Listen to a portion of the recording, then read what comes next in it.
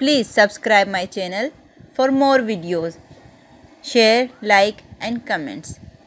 बरए मेहरबानी आप हमारे चैनल को सब्सक्राइब ज़रूर करें ताकि आने वाली हर नई वीडियो आप देख सकें शुक्रिया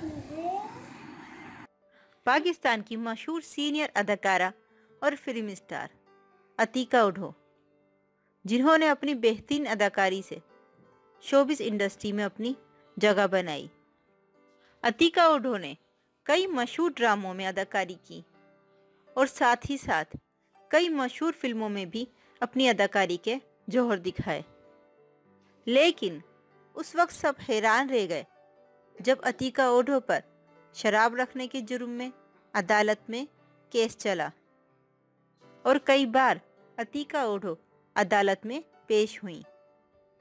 इसके बाद assistant commissioner city madam Naeem Afzal ने फनकारा अतीका ओडो के खिलाफ दो बोतल शराब केस की समात बगैर किसी कार्रवाई के तवील तारीख डालते हुए 9 जनवरी 2020 तक मुलतवी कर दी। वाज रहे कि ये केस 4 जून 2011 से, यानी 8 साल 5 माह 14 रोज से जेर अल्तवा है।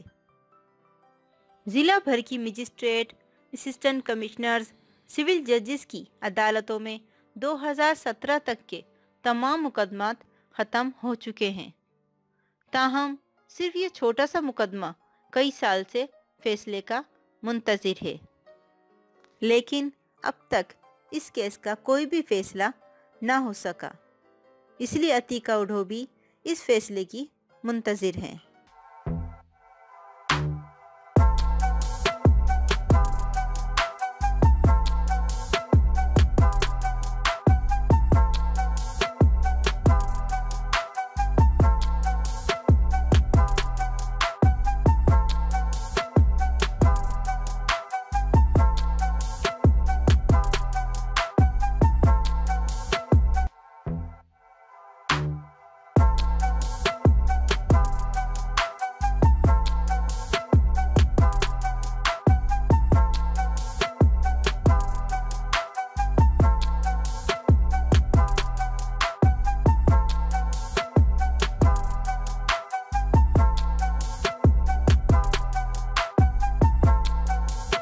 Please subscribe my channel for more videos. Share, like and comments. बरए मेहरबानी आप हमारे चैनल को सब्सक्राइब ज़रूर करें ताकि आने वाली हर नई वीडियो आप देख सकें शुक्रिया